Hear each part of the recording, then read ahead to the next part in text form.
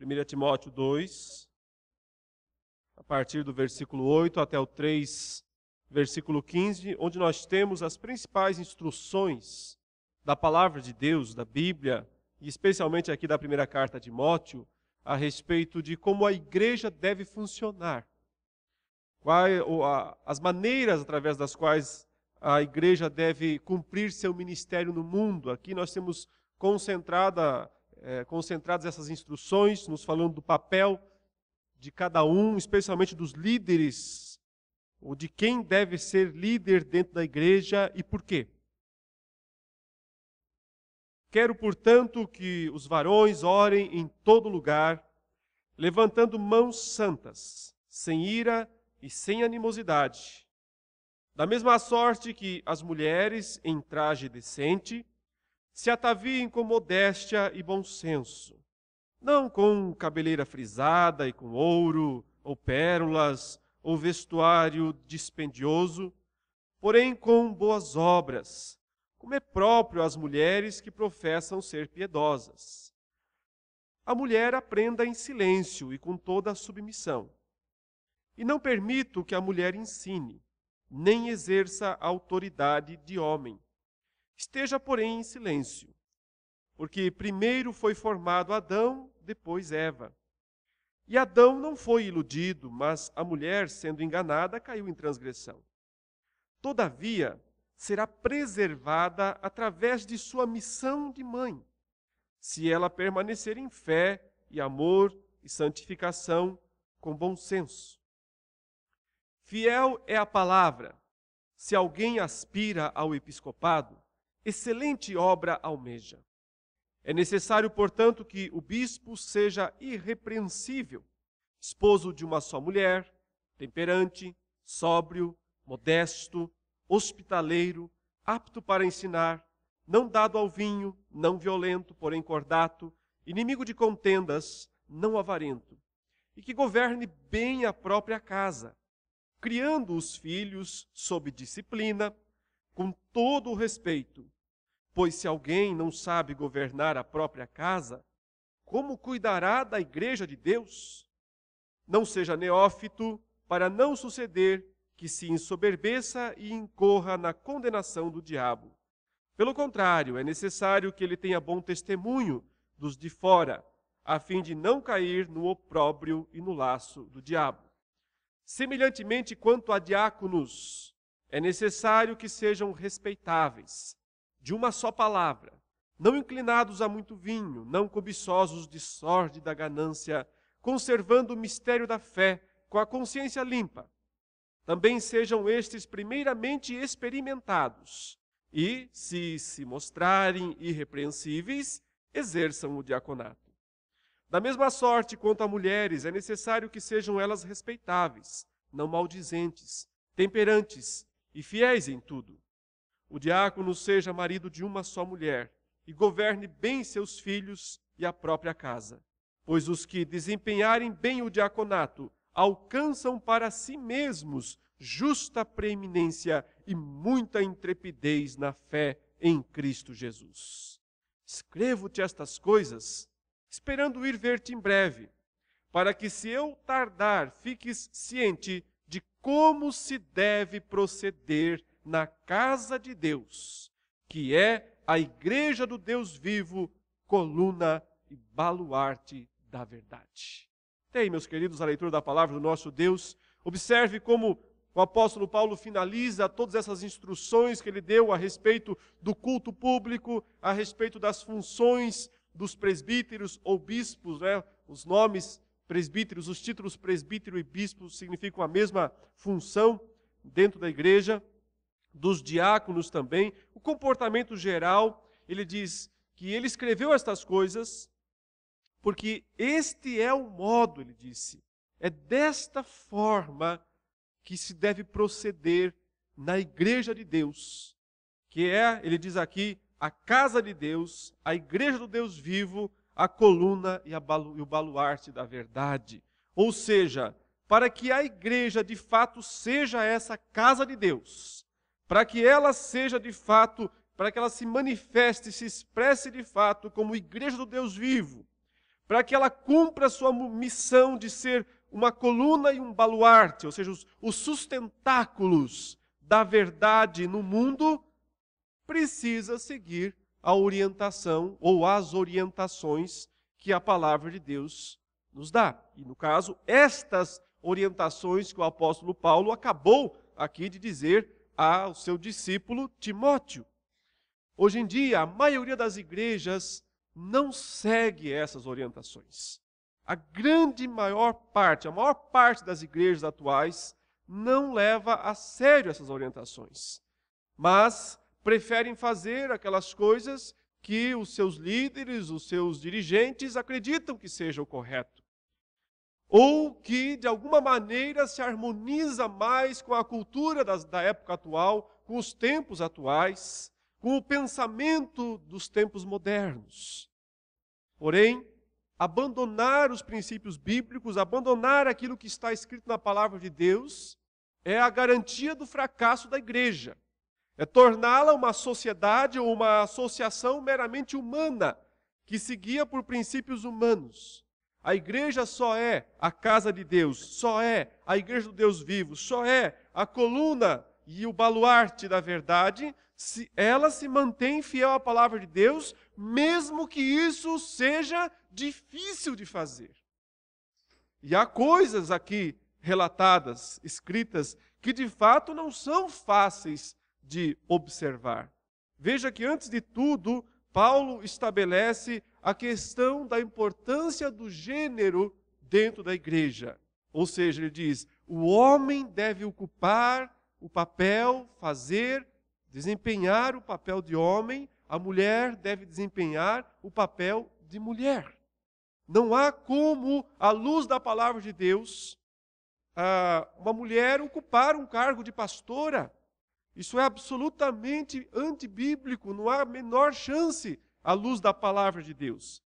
Mas observe que muitas igrejas, muitas denominações uh, utilizam-se de pastoras porque é, se encaixa melhor com o perfil da sociedade moderna. Mas ao se encaixar com o perfil da sociedade moderna, se abandona o princípio da palavra de Deus, daquilo que a Bíblia ensina claramente. Paulo está falando aqui sobre como se deve proceder na igreja de Deus, e a primeira coisa que ele faz questão de dizer é o que é devido ao homem, o que é devido à mulher. Isso está aqui no versículo 8 em diante, quando ele fala a respeito do culto e diz: bom, ah, o culto ambos participam normalmente, homens, mulheres, devem elevar suas mãos ao Senhor e orar com mãos santas, sem ira, sem animosidade. Porém, aí Paulo diz: as mulheres devem cuidar com suas próprias roupas, se vestir com decência, se vestir com modéstia, evitar luxo excessivo, evitar chamar muita atenção para si mesmas, roupas dignas, que não despertem lascívia por parte de ninguém, mas principalmente, e o aspecto aqui dos versículos 11, 12 e 13 mostram isso, ele diz: não é papel da mulher ensinar na igreja. Não é papel da mulher ocupar o cargo principal de ensino dentro da igreja de Deus dentro da casa de Deus, dentro da igreja de Deus vivo, onde se, se encontra a coluna e o baluarte da verdade. Por isso que Paulo fala de um modo até que parece forte, né? no versículo 11, a mulher, ele diz, aprenda em silêncio com toda submissão. Submissão é aquilo que Deus designou à mulher na parte que lhe cabe em relação ao seu esposo. Enquanto que ao marido cabe a liderança, mas lembrando sempre que é uma liderança amorosa e é uma liderança sacrificial, não é uma liderança autoritativa que se impõe e que explora, é uma liderança que se sacrifica, é isso que se espera do marido, mas se espera também, em contrapartida da mulher, uma submissão voluntariosa, amorosa, para com como se fosse a pessoa de Cristo Jesus. E o versículo 12 diz: E não permito que a mulher ensine nem exerça autoridade de homem o ponto é esse. Já nas igrejas primitivas, a inversão de papéis de marido e de mulher estava acontecendo e isso estava gerando grandes problemas na igreja primitiva. A mulher ocupando o espaço do marido e o marido se retraindo. De certa forma, a partir da queda, a partir do pecado que entrou no mundo, o homem e a mulher passaram a falhar nas suas funções. O homem que tem o chamado para ser o líder se torna alguém omisso. Ele deve liderar a sua casa, ele deve liderar seus filhos, ele deve tomar a iniciativa, porém o que ele faz? Ele se acomoda, ele se recolhe, ele se esconde atrás das coisas da vida, muitas vezes, inclusive, no caso dos não crentes, não é? Atrás das diversões, atrás das bebedeiras, ali que ele vai passar o seu tempo fugindo da sua responsabilidade.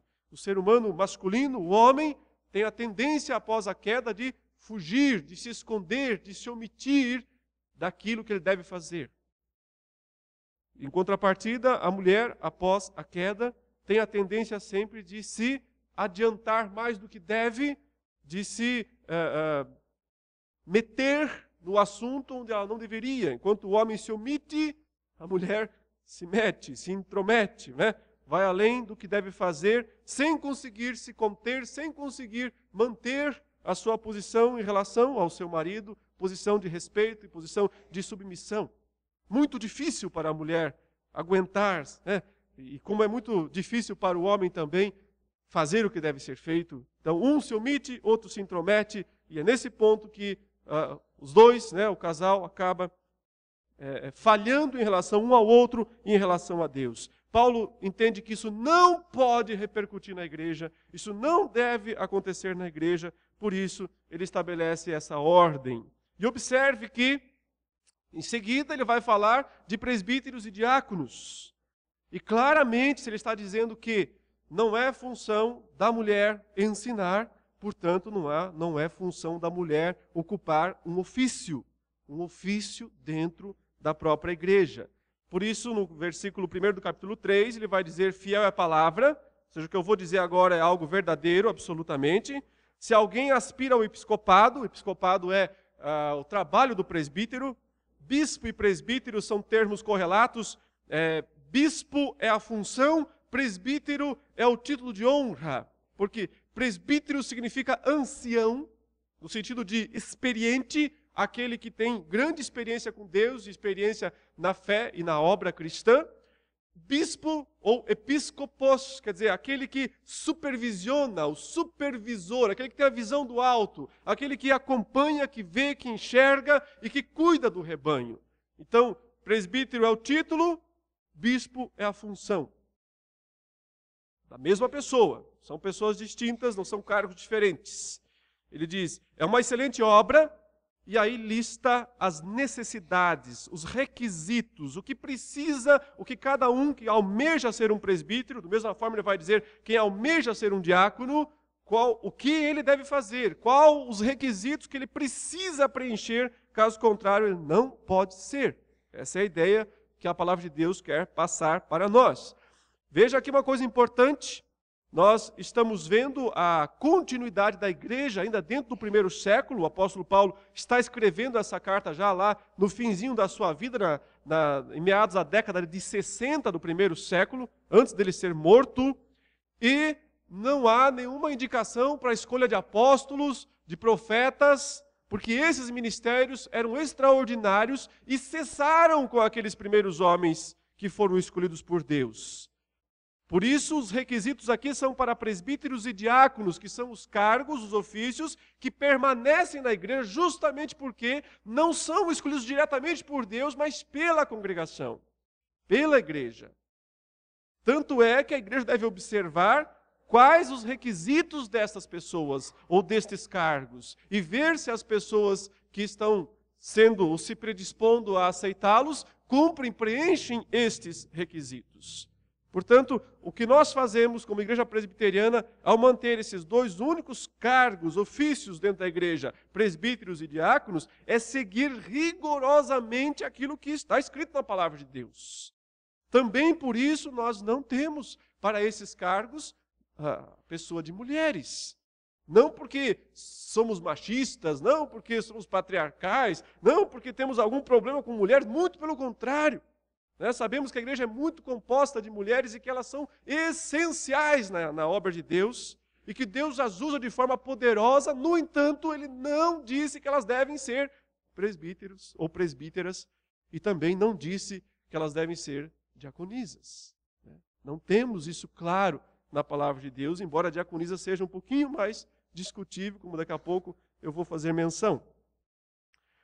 Então ele lista aqui os requisitos, inicialmente, dos presbíteros, dizendo que eles devem ser irrepreensíveis, esposo de uma só mulher, ou seja, além de não, há, não ser permitido poligamia, ter mais de uma mulher, também não é permitido que um presbítero se separe e se case com outra mulher, exceto em situação né, de, de, de, de, obviamente, viuvez, ou, no caso, aquela permitida pela palavra de Deus, que é ah, de adultério.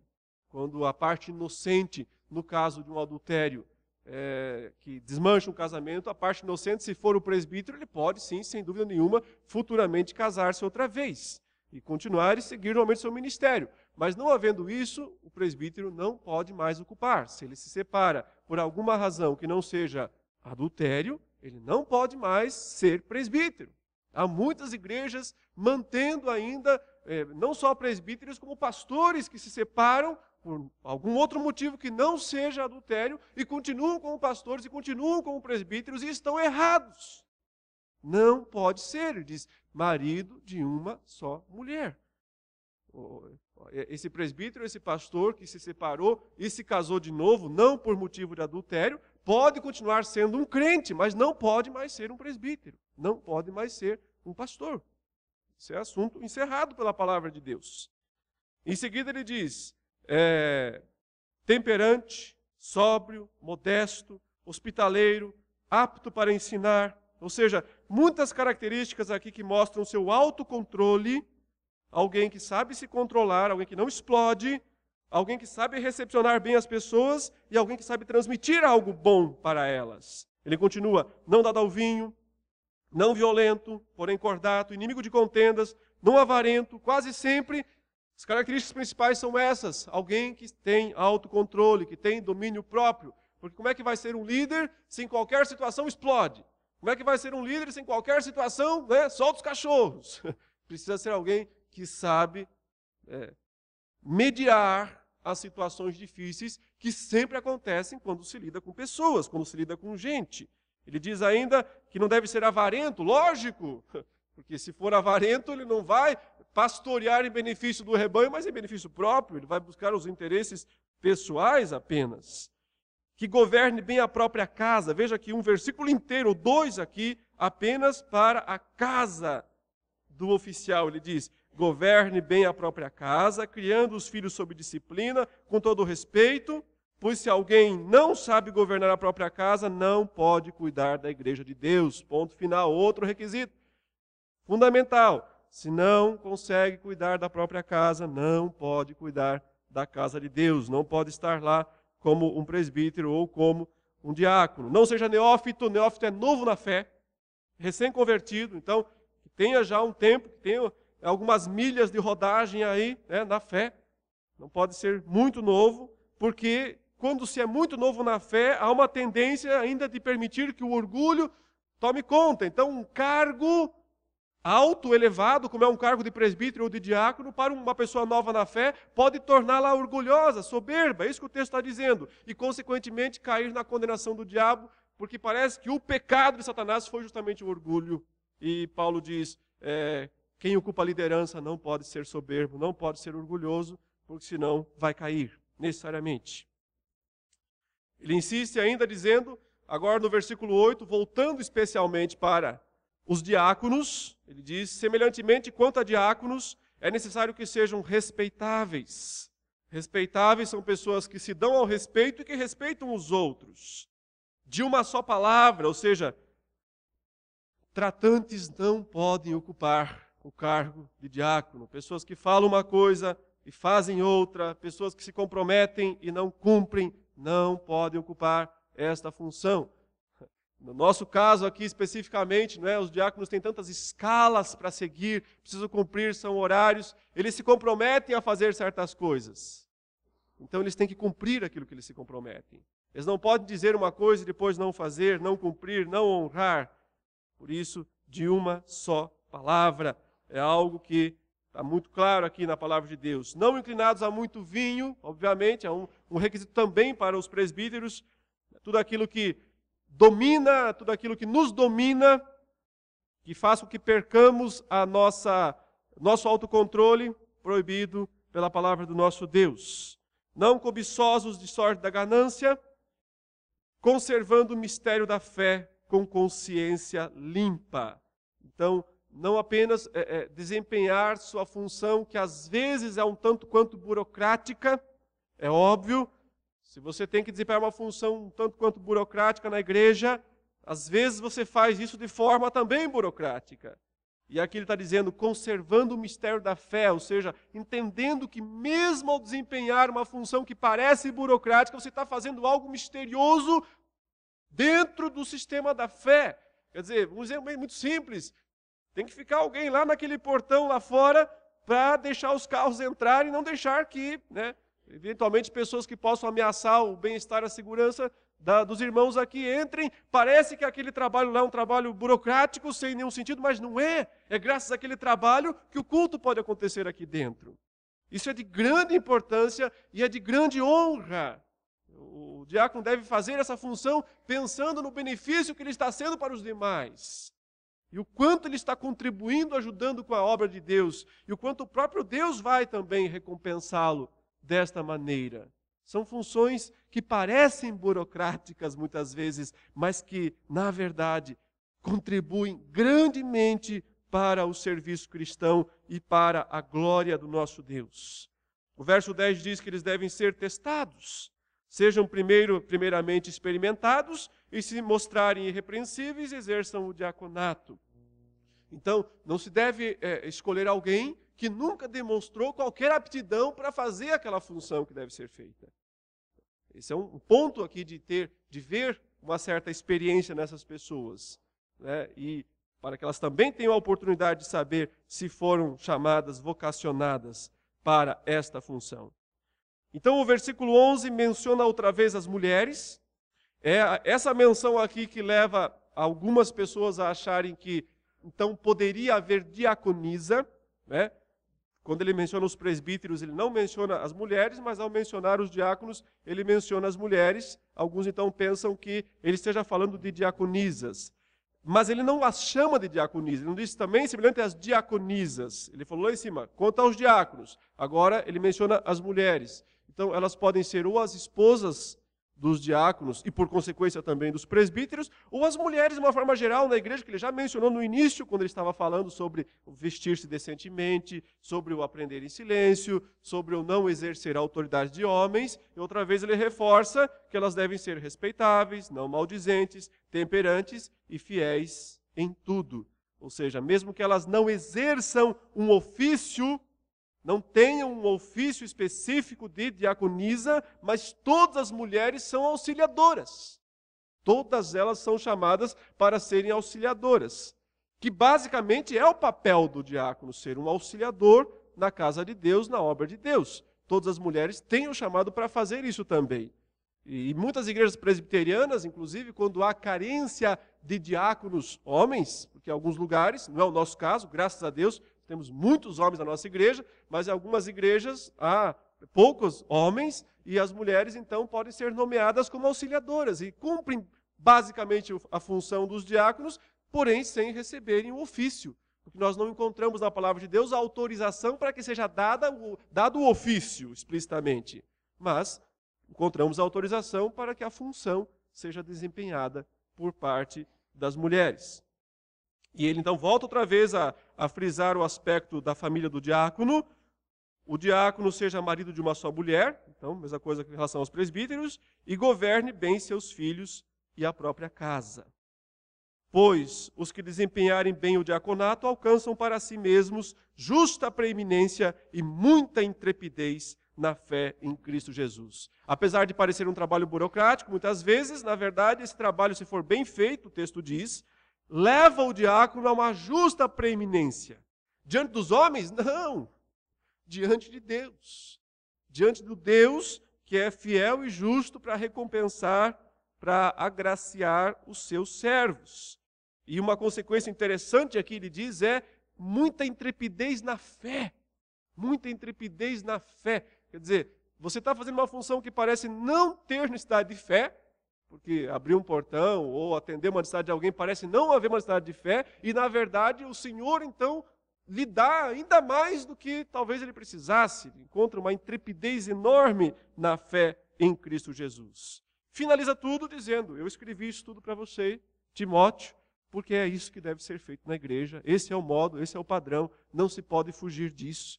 Precisa seguir esta orientação e assim a igreja será, porque ela é e será reconhecida como a casa de Deus. Uma casa é um lugar onde tem ordem, onde tem um chefe, onde tem um dono. Esse chefe não é o pastor, não é o presbítero, não é o diácono. Esse chefe é Deus, o pai de todos os filhos que fazem parte dessa casa. Mas uma casa tem que ter ordem, tem que ter organização, senão ela vira baderna. Essa casa de Deus é a igreja do Deus vivo, então ela é o grande instrumento de Deus para que o mundo conheça a verdade. Ele chama ela também de coluna e baluarte da verdade, sustentáculo. A expressão coluna é a expressão dos templos gregos que tinha aquelas enormes colunas para sustentar o teto. A coluna às vezes era mais bonita até do que o próprio teto. A igreja é a coluna da verdade, ou seja, é, na sua firmeza de conduta, na sua seriedade em relação ao que está escrito, a palavra de Deus, é que ela é então esse grande sustentáculo da verdade. Se ela se recusa, ela não vai ser, ela não vai sustentar a verdade perante o mundo com essa mesma firmeza, essa casa vai ruir, essa casa vai cair. Mas se ela estiver fundamentada na palavra de Deus, como Jesus disse, quem ouve essas minhas palavras e as cumpre é aquele homem prudente que construiu uma casa sobre a rocha. Pode transbordar o rio, pode soprar os ventos, vão dar com ímpeto contra aquela casa, mas ela não cai. Porque ela está fundamentada na verdade. Nem sempre, ou quase nunca, é fácil fazer o que a verdade exige. Quase nunca é fácil fazer o que a verdade exige. Mas sem fazer o que a verdade exige, não há firmeza, garantia e sobrevivência desta igreja como igreja verdadeira. Busquemos, portanto, busquemos, portanto, portanto, meus irmãos, cumprir aquilo que a palavra de Deus nos orienta e assim estaremos certamente sustentando mais uma vez a verdade perante o mundo. Vamos curvar a nossa fronte. Vamos orar ao Senhor nesse momento, pedindo é, sabedoria, pois na sequência teremos a nossa eleição de diáconos, daremos as instruções também.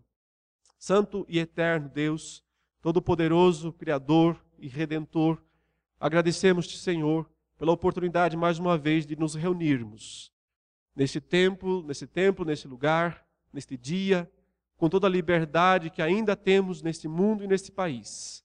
Te damos graças por isso e pela oportunidade de mais uma vez fazer aquilo que a tua palavra nos instrui, nos, nos orienta.